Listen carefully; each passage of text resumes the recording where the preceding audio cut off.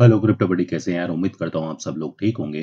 तो आज हम बात करने वाले हैं इस एक वीडियो में रिज़र्व बैंक ऑफ़ इंडिया के जो गवर्नर हैं, उन्होंने कल यानी कि थर्सडे एक मीटिंग के अंदर क्या कहा और क्या सीधा सीधा मानना है रिज़र्व बैंक ऑफ़ इंडिया का? आज की डेट में क्रिप्टो के लिए ये डिस्कस करेंगे। आज से एक परसेंट लगना शुरू हो चुका है हमारी ट्रेडिंग के ऊपर, वो डिस्कस करेंगे। साथ ही एक प्रोजेक्ट के बारे में बताएँगे जिसका रिव्यू हमने बहुत पहले किया था और वो हुबी ग्लोबल के ऊपर। लिस्ट हो चुका है, क्या बेनिफिट हो चुके हैं, वो सारी चीज़ें डिस्कस करेंगे और इसके साथ साथ ही रिव्यू करेंगे एक मेटावर्स के ऐसे प्रोजेक्ट को जो बहुत ही डिफरेंट है और उम्मीद कर सकते हैं कि जैसे बाकी प्रोजेक्ट में हम लोगों को फ़ायदा हुआ है, वैसे ही शायद ये एक प्रोजेक्ट भी हमारे लिए एक बहुत बेनिफिशियल रह सकता है। तो बहुत इंपॉर्टेंट और इन्फॉर्मेशन वाला वीडियो होने वाला है। इसलिए वीडियो के साथ अंत तक ज़रूर जुड़े रहेगा। और जो भाई लोग अभी तक हमारे चैनल के ऊपर नहीं आए हैं, वो चैनल को सब्सक्राइब ज़रूर कीजिएगा। अगर अभी तक आपने बेल आइकन के बटन को नहीं दबाया है तो इस बटन को भी ज़रूर दबा लीजिएगा, ताकि जब भी इस तरीके के इंपॉर्टेंट वीडियो लेके आए, उसका नोटिफिकेशन पहुँचे आपके पास सबसे पहले। तो आइए वीडियो को शुरू करते हैं और सबसे पहली न्यूज़ के ऊपर नज़र डालते हैं, जो है रिज़र्व बैंक ऑफ़ इंडिया के गवर्नर कल यानी कि थर्सडे को रिज़र्व बैंक ऑफ़ इंडिया की एक मीटिंग हुई और वहाँ पे जो गवर्नर हैं शशिकांत दास जी, उन्होंने कहा कि क्रिप्टो करेंसीज जो हैं, वो पूरी तरीके से क्लियरली आप यहाँ पढ़ सकते हैं, यहाँ पे द इकोनॉमिक टाइम्स लिखता है crypto currencies clear danger says RBI governor तो थोड़ा सा पढ़ लेते हैं, क्या इन्होंने यहाँ पे लिखा है तो यहाँ पे लिखते हैं Reserve Bank of India governor Shashikant Das on Thursday describe crypto currency is a clear danger यानी कि ये बिल्कुल क्लियर क्लियर खतरा है आज की डेट में and set that the anything that drives value based on make believe यानी कि एक ऐसी चीज़ जिसका सिर्फ़ बिलीव के ऊपर यानी कि विश्वास के आधार के ऊपर जिसकी वैल्यू है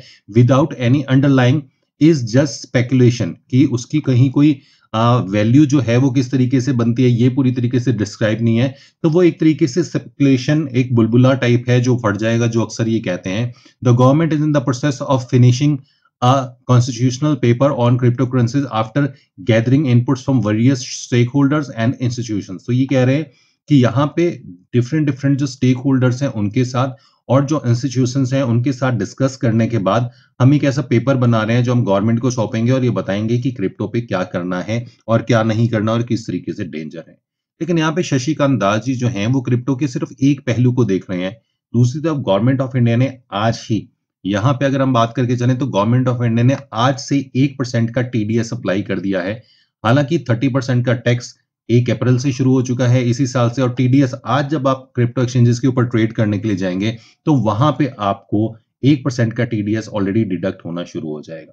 तो गवर्नमेंट एक तरफ़ बेनिफिट ले रही है इसी बिज़नेस से, इसी व्यापार से क्रिप्टो करेंसी से, और दूसरी तरफ़ जो एक गवर्नमेंट विंग है रिज़र्व बैंक ऑफ़ इंडिया वो यहाँ पे अपोज करने पे लगा हुआ है। अभी भी क्रिप्टो को कि क्रिप्टो पूरी तरीके से डेंजर है। इस तरीके की बातें और इस चीज़ का डिस्कशन हो रहा है। और ये कहीं ना कहीं डिमोटिवेट करता है इंडिया के अंदर जो प्रोजेक्ट बन रहे हैं, जो प्रोजेक्ट मार्केट के अंदर आ रहे हैं, उनको डिमोटिवेट करता है कि ये सारे के सारे सेटअप ये सारे के सारे प्रोजेक्ट जो है आउट ऑफ़ इंडिया जाके वहाँ पे डेवलप हो।